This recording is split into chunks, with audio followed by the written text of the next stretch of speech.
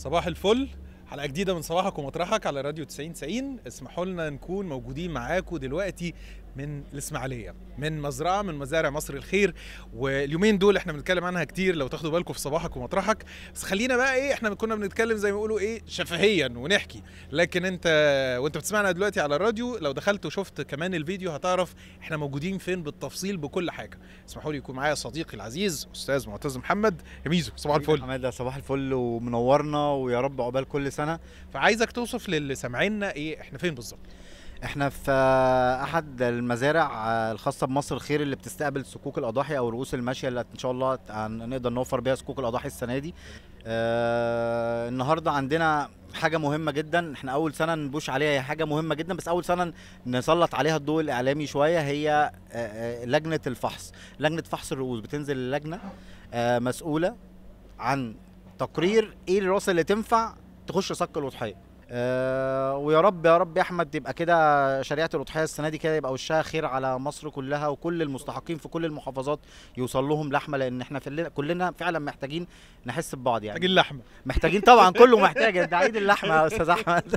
عيد معتز يعني المشهد اللي حوالينا ده هو مش وليد النهارده ولا امبارح ده ده قصة طويلة. فاحكي لي الحدوتة بقى من أول بقى المستفيد لحد ما خطوة خطوة لحد ما بتبتدي بقى الأضحية أصلا تتسلم تتسلم فمزارع مصر الخير يا أحمد بنشتغل على سيركل التنمية بأسلوب مباشر. يعني أنا بالنسبة لي من أحسن من أحسن الخطوات اللي مصر الخير بتاخدها هو المستفيدين اللي بيطلعوا بعد صك الأضحية معاهم أرباح وبيعملوا مشروع. المستثمر الصغير هو ده هدف مصر الخير. بقى لنا 8 سنين دي السنة الثامنه على التوالي اللي بنش... بنقدم فيها صك الأضحية.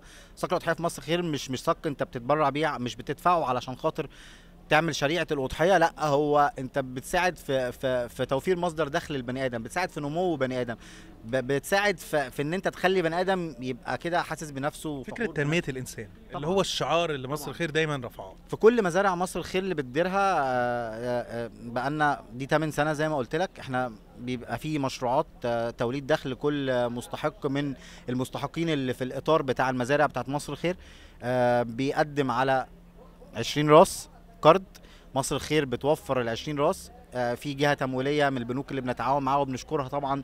آه مش عايز أذكر حد عشان ما انساش حد بس إحنا يعني مجهود كبير طبعا و... طيب دلوقتي إحنا موجودين في في في مزرعة من أرض مصر الخير من المزارع الجميلة لمصر الخير. مزارع لمصر الخير آه. أنا بقى واحد بيسمعنا دلوقتي وعايز يعرف هو هيعمل إيه مطلوب منه إيه هيحصل على إيه هيتوزع منه إيه لما يشترك في صك الأضحية. آه كمتبرع ولا كمتبرع؟ آه عندنا مصر الخير السنة دي آه 27 كيلو. 18 آه صك 27 كيلو. 18 كيلو بيروحوا للمستحق بيتوزعوا باسم المتبرع للمستحق في كل محافظات مصر. وفي 9 كيلو بيروحوا للمتبرع بداية من خامس يوم العيد. وفقا بقى أنت حاجز زي اونلاين أو ال hotline 16140 أو دافع زي في أي store في مصر الخير بيتكتب لك على الصك اليوم بتاع الاستلام الجزء بتاعك. حابب إن أنت توزع ال 27 كيلو كلهم طبعا إحنا موجودين وبنوصل لغاية حلايب وشلاتين في التوزيع. قيمة الصك السنة دي كام؟ 3990 جنيه. ده مقابل طبعا ال 27 كيلو. عندنا كيلو صدقة برضو ب 160 جنيه اللي مع حاجة تانية بقى غير الصك كمان اللي حابب يشترك في الصدقة بقى. بالظبط اللي ما عندوش القدرة السنة دي إن هو يقدم صك الأضحية فممكن يتبرع بكيلو صدقة بقيمة 160 جنيه. بيوصل طبعا للمستحقين في كل ربوع مصر.